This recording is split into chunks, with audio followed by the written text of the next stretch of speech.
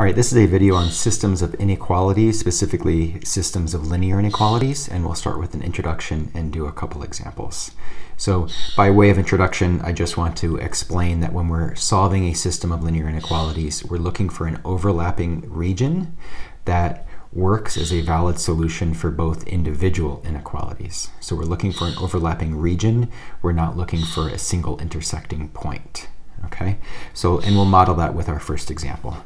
So we have a system of two inequalities here. The first one being 4x plus 2y is less than or equal to 20, and the second being y is greater than 3x minus 5.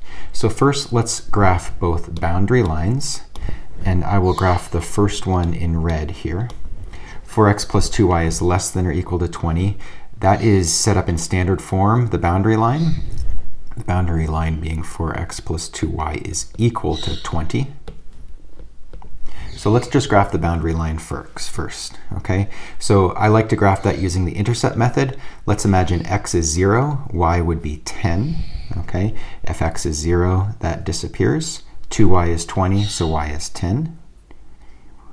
6, 7, 8, 9, 10 up here. Second, secondly, let's imagine that y is 0 and so that term would disappear. X would be 5. 1, 2, 3, 4, 5. And we can then just simply connect those two lines. Whoops. Here we go.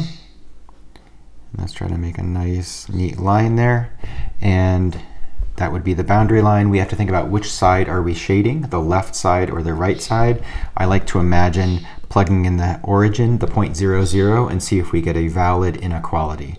So in this case, is 4 times 0 plus 2 times 0 less than or equal to 20? It definitely is. So we will uh, then shade the side that includes the 0, 0. So we're going to shade this side here, the lower left side of the boundary line. Okay, let's work with the next one now, and I'll do that one in purple here. excuse me, this boundary line is going to be y is equal to 3x minus 5, and it's going to be a dashed line. Okay, so let's set up a dashed line here. And we have a y-intercept of negative 5, and then a slope of 3. So up 3 over 1, up 3 over 1, up 3 over 1, etc. Okay, so we can go ahead and draw that line in making, trying to make a nice neat line there. And that is a dashed line because y is strictly greater than 3x minus 5. The uh, points on the actual boundary line are not valid solutions of the inequality. Let's think of a point or side of the boundary line to shade. And let's plug in 0, 0 once again. So is this a valid point? Is 0 greater than 3 times 0 minus 5? Once again, it is. So we will shade the side of my boundary line that includes 0, 0. Okay, so our solution to this set of this um, system of inequalities, and I will try to shade this about in um, green here, is this area here. Okay, everything that has an overlap of purple and red.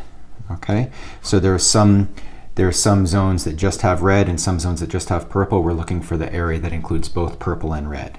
We would include the red boundary line in our solution. We would not include the purple boundary line in our solution. So to be and to be even as clear as I can be, this point is the intersection point of the two boundary lines, but it is actually not a point on the solution of our system of inequalities because all points on the purple dotted line are not actual solutions. So we're not looking for an intersection point here. We're looking for a zone, a region, an area, a two-dimensional area of overlapping shaded, um, shaded areas. All right, let's look at it. Let's solve an, another one here using technology. So I think you can see that we have some maybe a little bit more complex of some inequalities here, some fractions, some decimals we're working with. Often it's easiest just to go to Desmos and plot these up. And so let's do that. I'll, I'll copy the image that Desmos gives us and paste it back into our note app here. So these are our two um, our inequalities that we're working with, and you can see that they're shaded in the appropriate ways. Let me go ahead and copy this guy over, and I'll paste it into my note app here. All right, and so now I can mark it up a little bit. And so it looks like you can see that our solution, our shaded zone is the overlapping of the green and blue. So it's going to be that zone down in there. What are the regions of the plane that contain both green and blue? And any point in here, so that point, that point, that point, any of those points are all valid solutions, including points on the boundary lines because they're solid boundary lines, and including the intersection of the two boundary lines. Those are all valid solutions to our system of inequalities. And lastly, we'll look at a linear and an absolute value system. And so we'll graph both of these guys up here and then look at their regions of solution as well. So first we will graph the solution, the um, inequality y is less than 0.5x plus 3. That needs to be as a dashed line, so I need to get that going as a dashed line because it's a strictly less than, it's not a less than or equal to.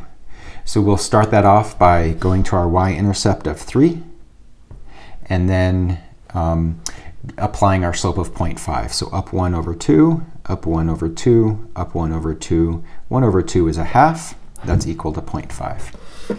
And we can graph this line here, roughly. And we can actually, let's try to get it a little bit more precise here. There we go. And so there's our boundary line. This is a y is less than 0.5x plus 3, so I'm going to shade the area below the line that includes the origin because x, y equals 0. Both result in valid solutions to this inequality. Both result in a valid solution to this inequality. Next, we'll do something similar, but with the uh, absolute value inequality. y is greater than or equal to the absolute value of x. So let's graph that inequality, or graph the boundary line first. So remember, an, an absolute value function is going to look like, our parent function here is going to look like 2 rays.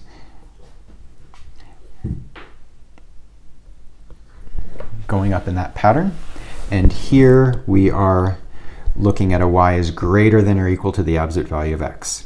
This boundary line goes through the origin, so we can't plug in the origin as a test point, but we can plug in a an arbitrary point maybe up here where y looks like maybe y is 8 and x is 0. Is 8 greater than or equal to the absolute value of 0? It is. So we will shade the side that includes that test point. So let's go ahead and do that.